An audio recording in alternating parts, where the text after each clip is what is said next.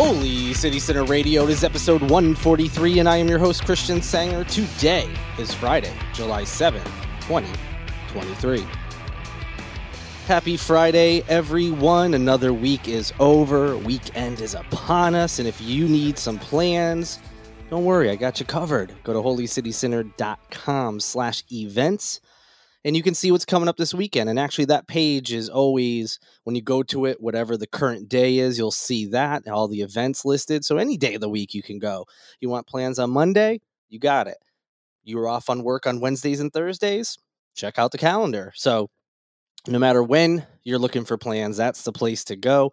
I also have a dedicated weekend events page.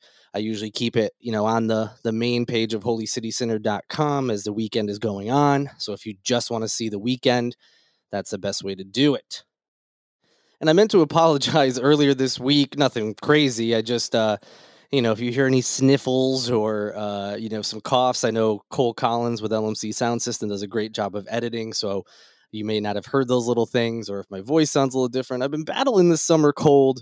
Battling is probably overstating it. I, you know, I've been fine. I've been going to work. Uh, only like one or two days that I feel kind of like, ugh, I just want to lay around and not do anything, you know. But that was even being dramatic. I was totally fine but it's just been lingering, you know, pretty much since I got back from Disney. A couple days after that, my dad was, you know, coughing pretty bad, and whatever he had passed to me. Thankfully, I didn't have uh, the cough like he did, although I started to cough a little bit here and there, but he had it pretty bad. So thankfully, he's feeling better and, and sounding better. Uh, and, you know, I'm just, I, I'm hoping I'm at the tail end of this thing. It's just annoying, you know, it's like a little bit of stuffiness, uh, a little bit of, you know, headache here and there. And, you know, just general like, I just don't feel like myself. So I'm hoping it's the tail end. I'm hoping by I'm hoping by Monday I'll be back to normal uh, but we'll see. So apologies if things sound a little uh, worse than normal. Um, you know, I like to keep a low bar here, but still, hopefully it's not too bad. Uh, speaking of my parents, uh, unfortunately for me, they did leave. Uh, it's been a great visit, as I've mentioned. You know, they went to Disney with me as well as my brother and his family. My brother and his family um, have been gone for, uh, I think, like a week or so now. Um, but my parents stayed, uh, which was great, uh, being able to spend time with them. And uh, yeah, unfortunately, uh, they they took off. So came back uh, to an empty house for the first time in many many days, weeks actually, uh, which was a which is a bummer for sure. You know, of course, I like my space. You know, I, I have I'm a bit of an introvert and a homebody at times. As much as I do like to go out and do things, I have to be in the right mood and you know, kind of sometimes mentally prepare myself uh, with my anxieties and stuff. But, uh, you know, uh, I love having my family here and, you know, they'll make comments like, "Oh, thanks for putting up with us," or "Oh, you know, we'll be out of your hair soon," or whatever. And it's it's not even like that. You know, I enjoy having them here. I have a very good relationship with my family. I'm very very lucky. So, uh, yeah, nice to have my space. The kitty is super excited to have his space back now that my parents' um, dog is gone as well. He's a little afraid of her, although he was getting braver. Um, I, you know, certainly miss them, and uh, but very thankful and had a great time. Um, but uh, back to being on my own. But I do have some um, plans that you know I can I have coming up that I'll be able to talk about in the podcast. So you know that's good. I have some things to look forward to and uh, yeah, we'll see when when the family comes back. Always a good time to have them here. Uh, that's about it as far as what's going on in Holy City Sinnerland. Um, still plugging along at the TV shows I mentioned, playing catch up on some things. Nothing really new going on. Hoping to get out to the movies though, as there's you know some good ones out in theaters, and you know if I check out something, I'll be sure to let you know. Um, the only other new thing is, yes, I've hopped on Threads. What is Threads? For those who don't know, Instagram slash Facebook, since Facebook owns Instagram, and technically the company name is Meta. So, Meta, the company that owns Facebook and Instagram, launched Threads, which is basically Twitter, um, but you uh, use your basically you sign up using your Instagram account logins. Um, you know they're they're looking to be a rival to Twitter, of course. A lot of people are excited about it, especially people who don't like the direction Twitter's been going in since Elon Musk took over. Uh, we'll see. You know, it's not like Meta. You know, Facebook is this amazing company um, who never does anything wrong. Uh, so uh, I think Zuckerberg is a, a, little bit he's still a villain as well. Um, but at the moment, maybe not as much as so as Elon Musk. But yes, you can find me over on Threads at the for now. We'll see how often I use it, but feel free to follow along and um, you know uh, we'll see what happens there. But with that, let's get into the news. All right, first, an update on that situation where a woman was found on the road on James Island.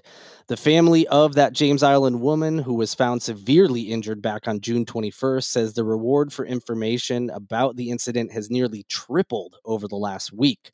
For those who don't remember, the woman, Jen Drummond, was found unconscious and lying in the middle of Woodland Shore Road. By the way, as a side note, there are plans to build a sidewalk um, on that road, and there is a meeting coming up about it. This was already in the works and is not related to this accident, um, but it kind of paints a picture that residents in that area have been asking for it because although the speed limit on that road is pretty low, I believe it was like 30 miles per hour, people apparently are const, you know, are, are driving down that road much faster and so there's been a call for you know sidewalks to be safer for pedestrians. So there is a meeting coming up where they're going to provide updates on that. So just wanted to put that as a side note to add some context to you know what may have happened is some people are thinking she may have been hit by a car. So in any event the family which includes chris drummond uh, he is jen's uncle he's kind of been the spokesperson in the media uh, has said that a reward that started out at a thousand dollars um, had increased last week to $3,000 and then got up to $8,000. Uh, last I checked online, it is now up to $10,000. This is a lot of money, and hopefully that'll bring someone forward with information about what happened to Jen so as far as her she is um, remaining in the hospital she's still in critical condition uh, a sheriff spokesman uh, told live 5 news that investigators are still working to determine the exact nature of her injuries which are you know they're labeling as suspicious. Uh, late last week deputies released surveillance photographs of vehicles that they pulled from like surveillance cameras you know like a, a ring doorbell or something like that um, they were trying to identify, you know, maybe one of these vehicles might have information, whether it's they saw her or did not see her when they were driving to try to get a timeline down, or if maybe they're um, responsible for whatever happened to her.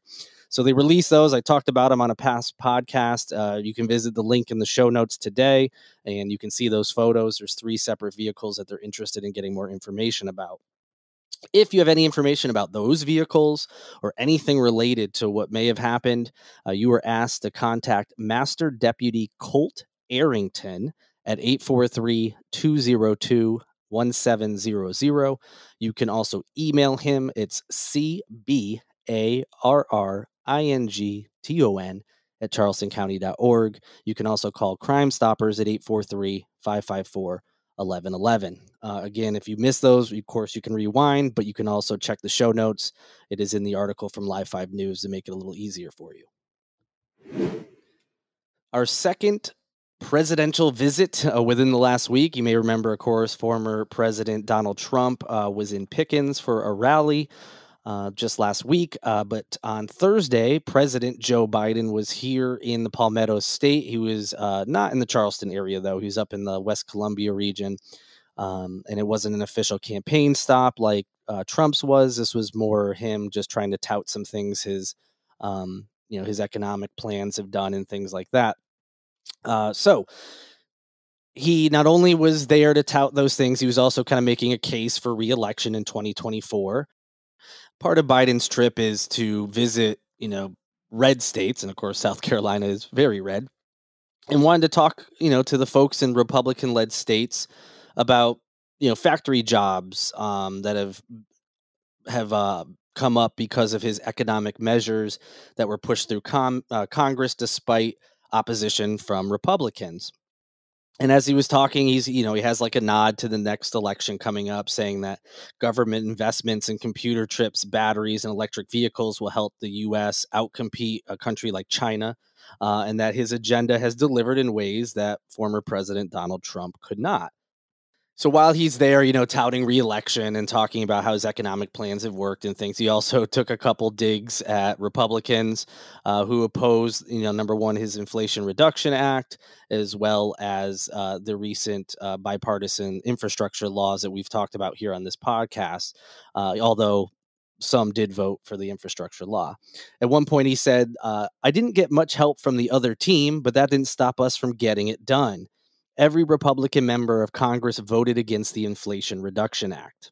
Now, in addition to Biden's comments, the White House had some official comments saying that they maintain if Republicans had their way, South Carolina, like many other Republican controlled states, would have lost out on billions of dollars in investments and thousands of jobs.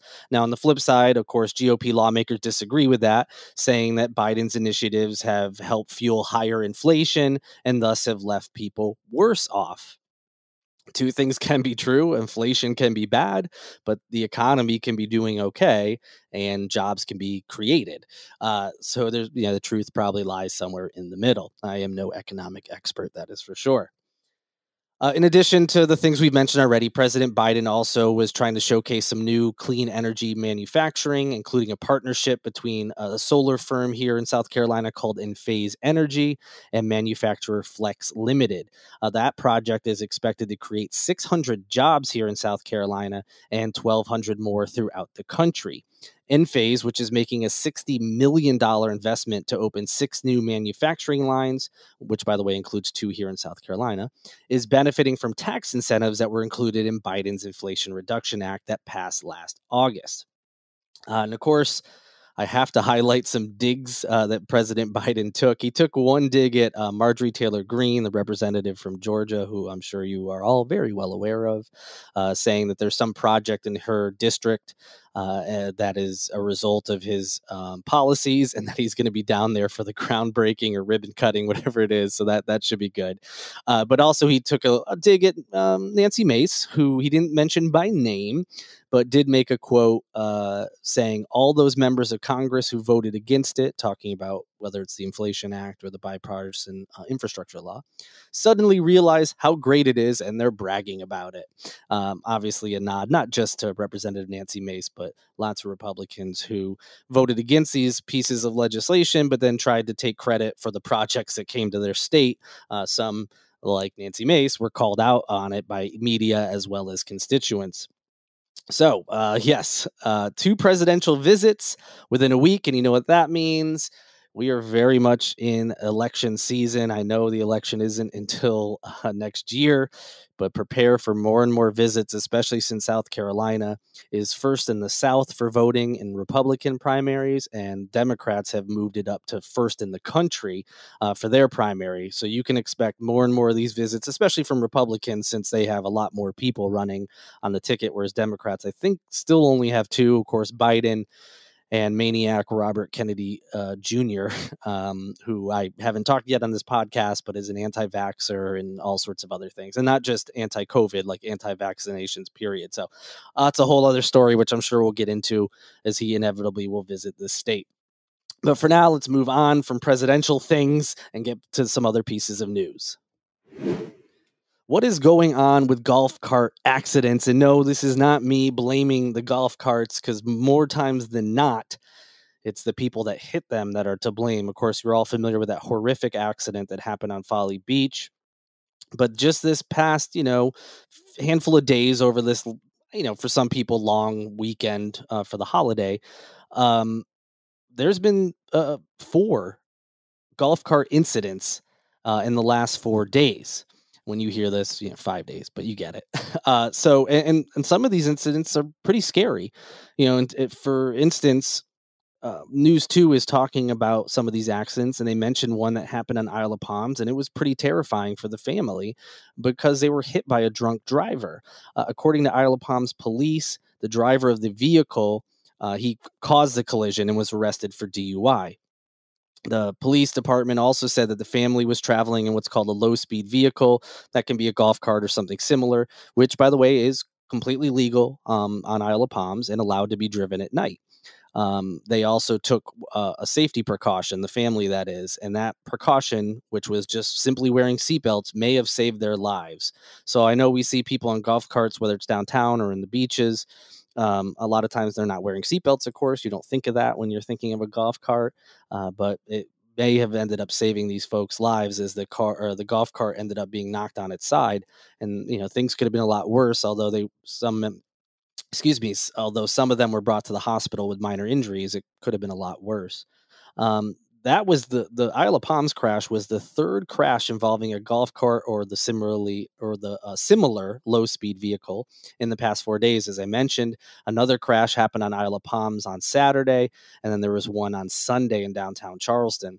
The one on Sunday was a little bit more serious. Uh, someone reached out to me to say that their friend was one of the people in the golf cart and was pretty badly hurt expected to make a full recovery and you know so that's great but you know suffered some you know bad injuries including broken bones and things. Uh, the other incident although not a crash is still scary um, and involves a golf cart. Uh, one caught fire in charleston county on tuesday so all sorts of things going on with uh, golf carts in the area and like i said it seems more oftentimes than not although some of these uh, investigations are still going and police haven't released details it seems the fault lies with the cars not paying attention or in you know the case of the first person being drunk you know so people are quick to be like there shouldn't be golf carts on the road but it seems like it's really the cars that are causing the problem. So although it may be frustrating to get stuck behind a golf cart on certain streets or um, you know just like it is with a horse carriage when you're downtown you know they're not doing anything illegal necessarily. Uh, there are rules and regulations for these things but oftentimes they're not doing anything wrong when they get in these accidents. So everybody just slow down, be a little bit more careful out there and just keep your eyes on the road. We have to share it if you're in a car, you have to share it with pedestrians, you have to share it with horse carriages downtown, you have to share it with golf carts in some communities. So just be careful out there. As frustrating as it may be, uh, just be careful. All right. Uh, I also wanted to highlight a. Uh, it was actually an editorial that was in the Post and Courier, and although it's it was an opinion piece, and I, know a lot of people listen to my podcast probably have the same opinions as me and, and also in this piece. Um, not everyone does. And I, and I do want to say it is an opinion. However, there were some details in there that are true and are not up for dispute so I, I, think it's an important read that people should look at. And, and, what this opinion piece was about, and again, the show is in the show, or the link is in the show notes, of course, is about the South Carolina um, House's so-called Freedom Caucus, which I've mentioned many, many times on this podcast. They're a very conservative faction of the Republican Party in the South Carolina State House. You know, they've been uh, up to all sorts of shenanigans, as you probably remember on past podcasts.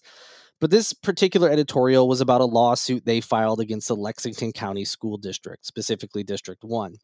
Uh, that school district recently settled that law- lawsuit and claimed, which, by the way, the lawsuit claimed without any support whatsoever, that the school district was teaching controversial concepts about race and gender that are barred by South Carolina law.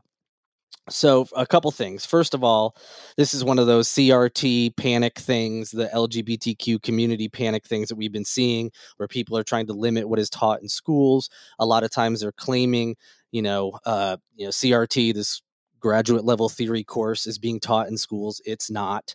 Uh, and then when you point that out, it's like, well, it's similar to it.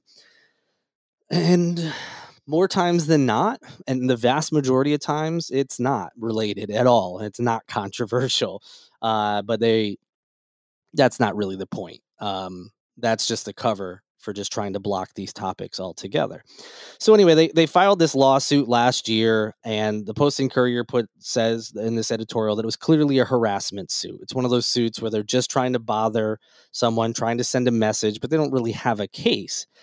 And as the editorial pointed out, even if you believe that everything the Freedom Caucus was alleging in their complaint, if you believed all of it was true, and as they put it, that's a dubious assumption. But even if it you believed it all, the district still would not have been violating state law the Freedom Caucus, amongst some others in the Republican Party, have tried to pass legislation that goes further than current state law.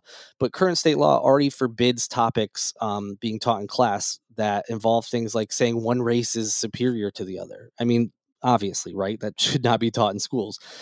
So there's all these laws in place about not teaching anything racist or bigoted. And, and so, based on the claims, none of those nothing that they claimed fit under that category. It wasn't illegal, but they still filed this lawsuit. It still has to, you know, go through the process. Well, the school district decided to settle. It was just in their best interest to do that. And just to step back for a second, I mentioned what law does prohibit. What it does not prohibit is teachers having students read books by black authors or, or white authors for that matter. Um, it also doesn't prohibit them for, from having students read books that have mostly black main characters. But those are the types of things that the Freedom Caucus is saying falls on was was against state law, you know, and trying to claim CRT and all that stuff. But none of those are illegal under state law, and nor should they be, obviously. So why settle if you're not doing anything illegal? And as the Post and Courier pointed out, that settlement can create the impression, uh, especially because Fox News picked up on this uh, settlement and, of course, ran with it and made it seem like the school district was admitting wrongdoing, which they weren't. Um, it makes it seem like the district was indeed violating the law and that the Freedom Caucus had stepped in and saved the day, none of which is true. Uh, the Post and Courier said that the Charleston County School District Superintendent in their lawsuit, you know, had a com- or I'm sorry, the former Charleston County School District Superintendent, now Superintendent over in Lexington, that's Gerrita uh, Postlewait. She had a completely uh, appropriate reason to settle. It became clear that the caucus was just like on a fishing expedition and that the district was going to have to pay a ton of money that could be spent on things like classrooms and you know uh, making sure their schools uh, have the necessary materials and, and are up to date and all that good stuff they were going to have to move that money so that they could fight the lawsuit and then have the appropriate help to find and produce any requested documents. Yeah freedom caucus really cares about schools when they're doing these harassment suits and this isn't the only one by the way that they're trying to to settle or they're uh, that they've you know have, have brought to court. And so the school district said okay why waste money? Plus what's the point of winning the suit you know we haven't violated any state law and all that the settlement i keep saying settlement settlement might make you think they had to pay money or something but all the settlement actually required was them to stop contracting a specific consulting group that's it and so for them it just made sense to settle. Why waste money? Why open us open ourselves up to something else? They're going to find something else that was assigned and try to twist that around.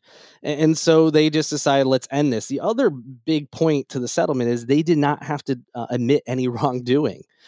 So even though it was trying to be spun in the news that oh they settled and that's a win for the Freedom Caucus, they really were just like this is a waste of money and time and let's just get back to what's important which is having this money go towards our school and teaching our children. We'll just cut ties with this consulting agency whatever and so uh, you know that's the right move but of course the problem with settling the case is one it's not an isolated incident it's going to continue and they're going to be emboldened by this and again too the optics make it seem like maybe the freedom caucus did the right thing when in fact they did not. They're just wasting time and money from our schools under the guise of trying to protect children and parental rights and all that bs that they've been doing over the last year plus so, as the Post and Courier pointed out, you know, although it would be good for our society uh, for the Freedom Caucus to be forced to prove that the allegations were true and that what they're alleging was actually against state law, uh, that would have been better for society. And we could have been like, hey, look, these schools aren't doing what these wackos have been claiming they've been doing. They're losing lawsuits left and right because it's not happening and they're just trying to ban topics that they don't like whether it's outright bigotry and racism or or or something else. Unfortunately schools and whoever else may fall victim to one of these harassment suits it's just in their best interest just to say you know what? Fine whatever. We'll cut ties with this consulting firm or whatever will whatever the you know as long as we don't have to admit any wrongdoing and we can just stop this we're just going to do it. So good for them but bad for the bigger picture. So that's kind of what I was talking about. It, gave me some insight. Again i know it's an editorial giving opinion but it did give some insight into what these lawsuits are and what they're alleging and then what schools are doing instead of trying to waste money on it. So definitely you know check that out and just you know i wanted to have everyone just keep your eye on this freedom caucus they're going to be a thorn in the state side for a while. And as I mentioned in the past, this isn't even just like a you know progressive and liberals versus republicans and conservatives thing like a lot of people in the current south carolina republican party do not like or agree with the Freedom Caucus and what they're doing. So this is a menace for the state that both parties have members that are like, what is going on? We need to stop these people. So definitely something to keep an eye on going forward. All right, and lastly, another uh, amazing piece of journalism. This one done by uh, Reuters, who you know they're kind of like the Associated Press. Most people are a little bit more familiar with the AP. You know, where they you know they're uh, journalists who provide stories that end up getting run, you know, syndicated basically in papers um, and websites that may not have like a national correspondent. They can pull these stories from them. They did this multi-part series called um, "Slavery's Descendants." and the link is in the show notes. You should definitely check it out. And basically, it features the ancestral ties of today's political elite to slaveholding. And they found that 118 of America's most influential leaders have a slaveholding ancestor. Now, before we get too, too much further, this is not a Reuters nor myself. Uh, this is not a shame on these people moment because obviously these are members of whether it's Congress or a Supreme Court justice or a president or governor or whatever. Obviously, the people living today have not enslaved anyone. No one in their family has done so in generations. I think in South Carolina, the closest link was three generations old. So this isn't like a, oh, shame on them. This party's bad for this reason. As you'll see in South Carolina, the ties are majority are with the Republican Party. It's not nothing like that. It's just as uh, Reuters said, they put this together because at a time of renewed debate over what slavery's legacy is and what can and can't be taught about it in schools, many leaders have taken positions on policies that are related to race, as I mentioned CRT before. So Reuters sought to determine how many political elites descended from slaveholders and what it means for them when they learn those facts, because some of them at least claim they had no idea that anyone in their family owned, uh, you know, enslaved people. Maybe they didn't know their family's ties to slavery period. So they just wanted to see what that meant to politicians uh, and what they would say. No surprise most did not comment uh, but some did so quick rundown they found that five living presidents had uh, ancestors that enslaved people those five living presidents were biden obama bush clinton and carter one note for Obama. Uh, obviously, it was the white side of his family that enslaved people here in America. Um, his black ancestors, he had some that were enslaved. So he kind of, his family has seen both sides of it. The only living president not on that list was Donald Trump. His family did not enslave anyone, according to Reuters um, research. Part of that reason, pre- potentially, is because his family didn't move here until after slavery had ended. So who knows what his family may have done if they were here, but they weren't. And so that's the point I'm trying to get across here. Uh, two Supreme Court justices, Gorsuch, Gorsuch, excuse me, and uh, Amy Coney Barrett, they both had enslavers in uh, their family's history, as did 11 governors, including our own Henry McMaster his he's the one by the way who was only three generations removed that was the closest one on the list and a hundred legislators so you know uh, representatives and senators and several from south carolina we'll get into that in a moment uh, they all also descended from ancestors who enslaved black people uh, some more details Reuters found that at least 8% of Democrats in the last Congress and 28% of Republicans have ancestral ties to enslavers. You know, so not huge percentages, but 8% of Democrats and 28% of Republicans. Unsurprisingly, as I mentioned, few were willing to talk about their, family, their family's ties uh, to, you know, what people call America's original sin. The Reuters examination reveals you know, kind of how intimately tied America remains to the institute of, institution of slavery, including through people who make the laws that currently govern our country. And although this isn't their fault, what their family has done in the past, you have to wonder a, a few things, such as what role did generational wealth play in their lives?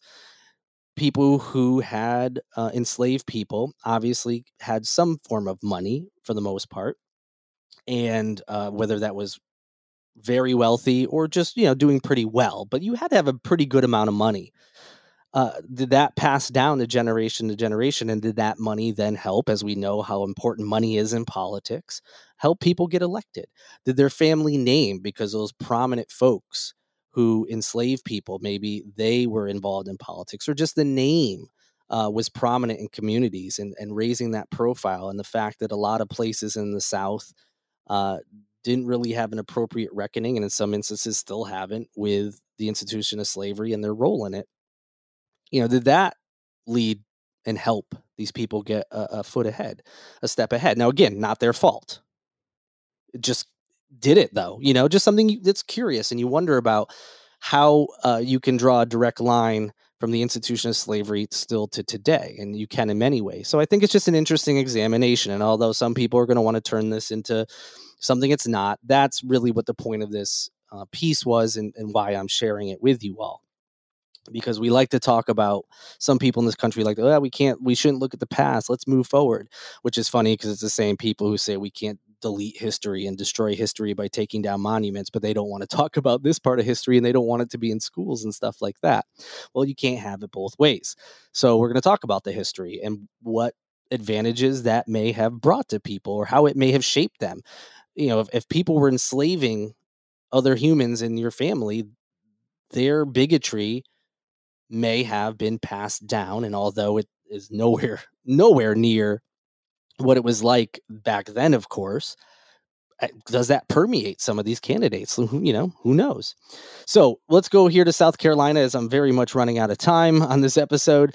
Every member of South Carolina's congressional delegation every member. That means every single person that South Carolina currently has on the federal level in Congress and in the House of Representatives has an ancestral link to slavery. Now, the state's two black members of Congress, Senator Tim Scott and Representative Jim Clyburn, have ancestors who were enslaved. So that's their ties. The rest, which are uh, seven people, all white, as well as Governor Henry McMaster, although he's not part of Congress. You know, he is obviously our governor in his state. So the seven other uh, lawmakers, all white, and Governor McMaster are all direct descendants of a slaveholder or multiple slaveholders. And then the piece really dives into it. So, for example, Senator Lindsey Graham's great great great grandfather enslaved eight people. Um, as we go through, I'm not going to you know get into details about all of them, but you can look it up on the link in the show notes. It's got the ancestors' name, how many people um, they enslaved, uh, their relationship to the political elite today, and if the uh, person, so in this case, Lindsey Graham, uh, provided any kind of quote or statement based on these findings. Um, no, no surprise he, they really didn't. Uh, most folks did not provide any statement. Uh, in Graham's case, you know, I think a staffer said something like, "Oh, you know, Senator Lindsey Graham thinks slavery is America's original sin." Um, and, and wants to continue to move forward and, and focus on today, you know, stuff like that. Uh, so, yeah, he's included. Uh, next up is Representative Nancy Mace, who originally, according to Reuters, agreed to an interview, then canceled that interview and eventually provided a statement her statement, just like when uh, she should have been more prepared for being questioned about voting against the infrastructure law and bombed the answer, she completely bombed this answer. She said, quote, I don't recognize these people named, talking about the family members that Reuters found um, that enslaved people, and can't confirm they are relatives. But slavery was a stain on this country, and we as Americans should be grateful for the progress we've made since the 1860s just a complete bungle. The, the, the attempt to distance yourself by saying I don't recognize these family members named, and he can't even confirm their relatives. Well, that that's probably true. Honestly, she may not recognize the names, and she may not have done work to confirm it, and she's under no obligation to do that. But why is that your like defense? It's like, uh, you know, this might be fake news. That's kind of what she's trying to set up for here when they're just interested in what she thinks about it. And so just a just a dumb thing to say and then the fact that she, we should be grateful for the progress. So basically like hey people who are still discriminated against in this country or may still be feeling the effects generations later just be happy that you're not slaves anymore. You know that's what it reads like and just just a horrible answer. She would have been better just sticking with the canceled interview honestly. I just i just don't understand how she's so bad at this stuff but anyway, I just want to highlight hers um, because it had more detail than some of the others. For her, it was her great, great, great, so three times great grandmother, whose name, by the way, was Drusilla Mace, which, as people have pointed out, sounds like a Disney villain, like Drusilla. Like I'm, you know, envisioning the, you know, Cruella de Vil um, from 101 Dalmatians, like just a villain name, and it's just so perfect. Um, so anyway, her and her son John Mace uh, were both slaveholders, and they had this really interesting detail that decades after emancipation, um, a man who was formerly enslaved by John Mace, um, he gave an interview, and he was recalling when he was being made to work for Mace, John Mace, that is, um, who, by the way, in 1860 had enslaved seven people and is Nancy Mace's great great grandfather. Um, so, anyway, in an interview in 1937, the man whose name was Hector Godbolt recounted watching an overseer who was summoned by John Mace's wife uh, put an enslaved person over a fence plank and whip him 75 times with what is called a cat o' nine tails, which is named for the nine knotted strands um, at the end of each, like, you know, whip uh, to make sure that it inflicted the most pain and damage to, to someone's back as possible. After the 75 lashes, uh, Godbolt said that there was blood running down this poor guy's back, uh, just like you would see a stream run. So, again, this is not Nancy Mace's fault. Has nothing to do with her, but it is, you know, in her past, and it it, it highlights. Although we all know how horrible slavery was, well and is because as we know in other parts of the country there's different types of slavery specifically with you know and there's still trafficking and things um but in this country back then what it was like and how brutal it really was a lot of times those details aren't shared because it, people don't want to talk about the ugly side of things and, and i think that provides just a very very small sample of the types of horrible things that happened to, to people who were enslaved. So anyway uh, the rest of the reps as i mentioned also have ties. I'll just quickly highlight them. Representative Joe Wilson had at least five slaveholders among his forebearers. They enslaved at least 16 people. He is someone who, in the past, has talked about how important, um, you know, respecting history is and how proud he was of his family. And he was ardently against the Confederate flag coming down, um, uh, not just. Um, in recent times, but back in what was it, 2000, when there was a debate about removing it from the state house and putting it outside, talking about how proud he was of his family members, and he mentioned one of those family members by name, and mm, turns out one of them's a slave was a slaveholder. So, not so great there. Um, the rest of South Carolina's leaders, Jeff Duncan's ancestors enslaved five people. Representative Ralph Norman's uh, enslaved 61 Representative Tom Rice enslaved 64, which was the most out of anyone in South Carolina. Representative William Timmons' family enslaved two, and Governor Henry McMaster's family enslaved four people. So, as I mentioned, definitely go check out the show notes because there's a lot more to this multi part series. It's really, really fascinating. Um, and again, just this wasn't a, a, an attempt by Reuters or myself by relaying it to shame anyone who lives today. It's not their fault what their ancestors did. And besides Joe Wilson, it doesn't seem like uh, anyone had even mentioned these relatives by name previously, and they may not even known they existed, let alone let alone who they enslaved. But the reasons I mentioned at the top make this topic very interesting and something to talk about. Again, how long can things like generational wealth and the leg up that some people's families had at the time uh, continues many generations later and their status and the wealth and all that leads them to possibly be in politics today. And again not their fault but it is interesting to look at so that's why i wanted to highlight that and i recommend you all check out the multi-part series That'll do it for this edition of Holy City Sinner Radio. It's been hot out there, so stay cool, stay safe.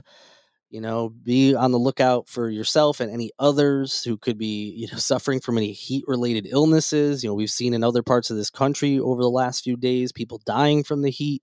And uh, although we're not facing the extreme heat that places like Texas are, it is very hot. So just be careful out there and look out for others, maybe especially folks who don't have air conditioning or, you know, um, whatever else might put them in danger of being in the heat for extended amounts of time. Outside of that, don't be afraid to go out and have some fun. You can also do indoor events. Go to holycitysinner.com slash events to see what's going on. Speaking of the website, if you want to support Holy City Sinner and this podcast and anything else I do, you can go to holycitysinner.com slash shop to pick up some merchandise or go to patreon.com slash holycitysinner to sign up for one of those support tiers. Thank you to Cole Collins with LMC Sound System for producing this and every episode of Holy City Sinner Radio. I also want to thank Tyler Boone, whose music you hear each and every episode as well. And a big thank you to all of you for listening, supporting, following, all the good stuff you do. I really, really appreciate it. If you haven't already, be sure to subscribe to this podcast on your favorite streaming platform so you don't miss any episodes. And then if you want to help me out, like the podcast, review it, uh, whatever you can do to, you know, tell people about this show and what you think of it, that helps out. Enjoy your weekend. I plan on it. Certainly not wishing the weekend away, but I can't wait to talk to you all on Monday. Until then, good night and good luck.